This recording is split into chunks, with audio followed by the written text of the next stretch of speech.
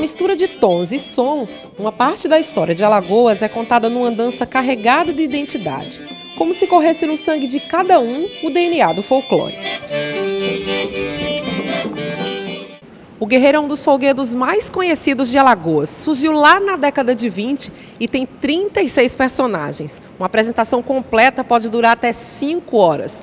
É um retrato muito bonito e colorido do nosso povo. A riqueza de trajes e enfeites é resultado da união de outras danças: o reizado, o alto dos caboclinhos, chegança e o pastorio.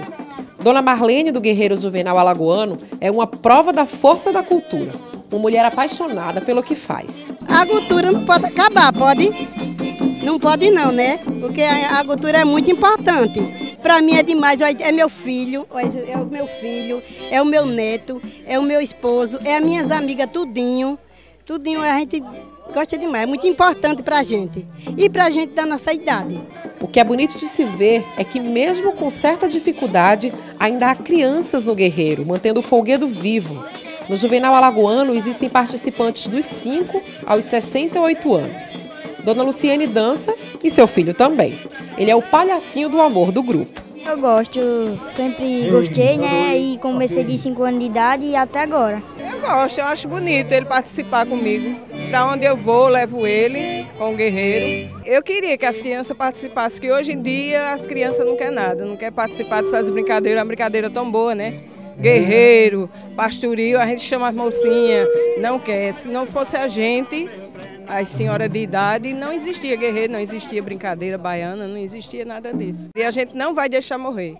Entre reis, rainhas, índios e os pesados adereços em forma de palácios e igrejas, está o mestre Vicente, que não tem modéstia na hora de falar do seu papel para a dança. Sem o mestre não tem guerreiro. Como é que brinca sem o mestre, né? um tamborzeiro, o cabo da faz um arranjo, uma coisa. Mas se faltar mestre do jeito que está, mestre de Alagoa estão se acabando. Eu já estou no lugar de um. Muita gente dedicou parte da vida a manter as tradições da terra. Mestre Fátima Brasileiro é uma delas. As três décadas de trabalho pela cultura ainda não foram suficientes. Ela quer mais. A gente precisa urgentemente é, divulgar o que de mais belo, de mais tradicional, de raízes, não é? Da nossa cultura, porque é a nossa identidade. O nosso estado é o estado mais rico em diversidade cultural. Em vez de se gastar tanto com, com concurso, vamos promover festivais, trazer de fora as outras culturas para fazer um intercâmbio. Né? para que a gente aprenda as culturas outras de outros estados e assim a gente tenha um conhecimento maior sobre a cultura popular brasileira. Os mais de 35 anos de folguedos populares fizeram com que seu Geraldo, ou mestre Geraldo, como ele gosta de ser chamado, se tornasse um representante dos 28 folguedos alagoanos. Na sua simplicidade, ele sabe que a história não para por aqui. Ainda bem.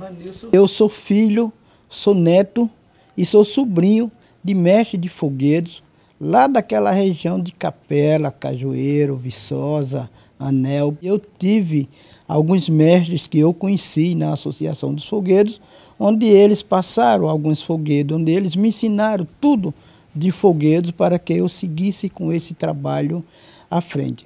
Hoje eu tenho uma esposa e dois filhos que eles estão folcloricamente preparados para seguir esse meu trabalho, além de muitos descendentes que eu fiz durante esses 35 anos de trabalho, que alguns é, estão fazendo essas atividades em escolas particulares por aí e outras até fora do estado. Enquanto eu tiver, pelo menos aqui neste país, e batendo as pestanas, Fátima Brasileira está lá, dando o seu recado, dançando, pulando e ensinando, e sorrindo e alegrando.